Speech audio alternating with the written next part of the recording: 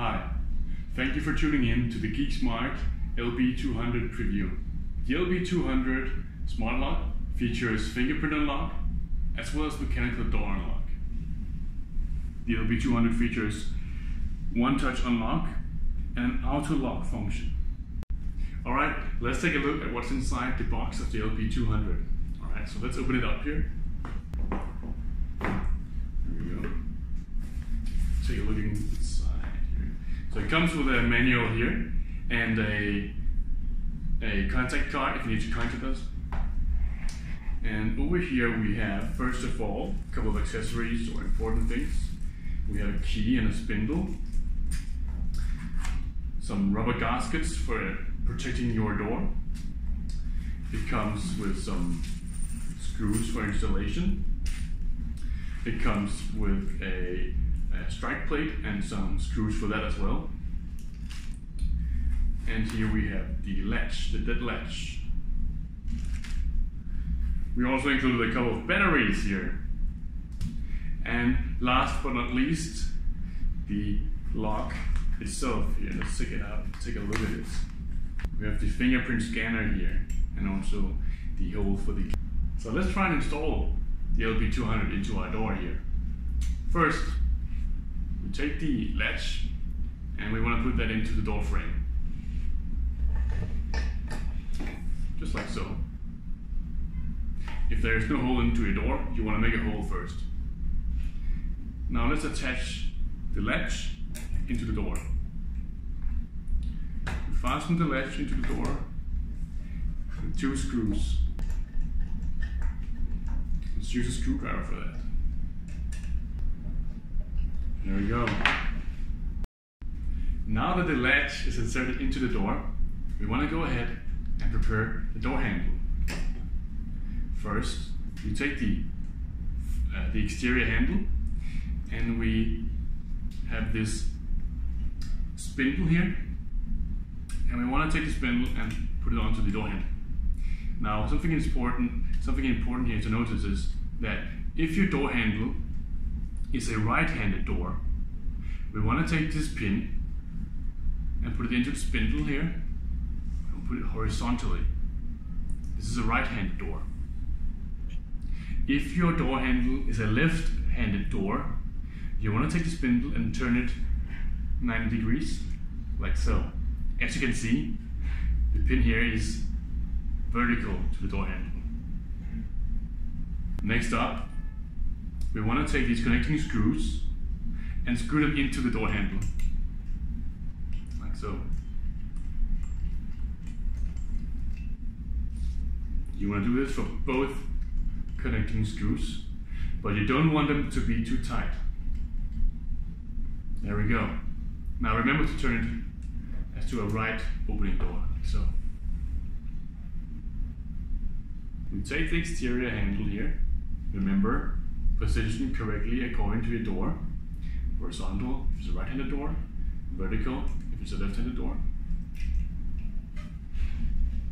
And put it in, into the into the latch.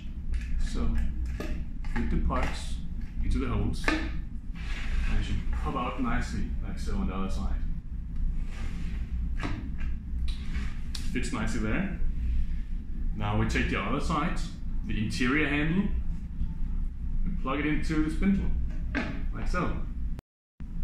Now if you want to take extra care and protect your door, you can use these rubber gaskets. You need to put them on before the handle, but it's not strictly necessary and I chose not to do so. Next step, we take these two screws here and screw into the connecting screws. We do that on the interior hand side.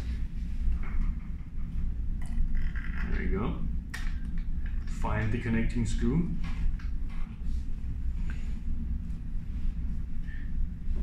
And screw it into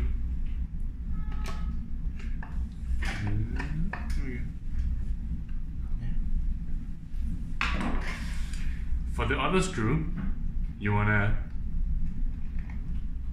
turn down the door handle like this and then fit the screw There we go. There we go. Now that the door lock is installed properly, maybe you want to try and see if it works. So this is the exterior handle.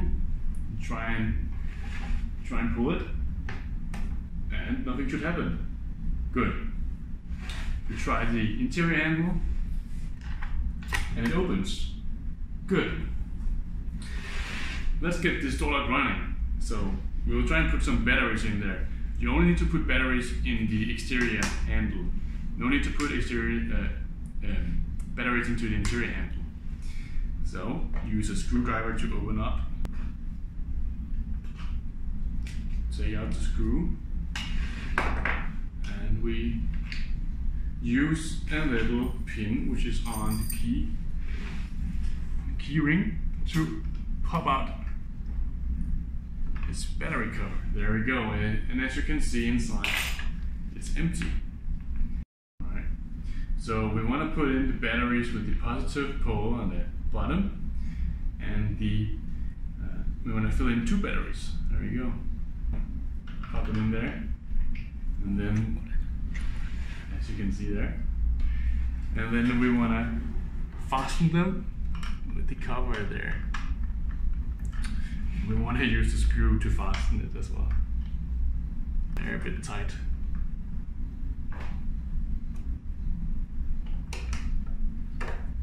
Now the handle should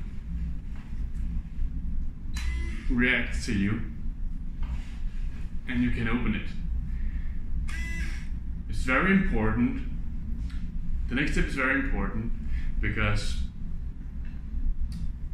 without setting up the lock, the lock will unlock to anybody, meaning if you have not registered a fingerprint as an administrator, you need to do it immediately.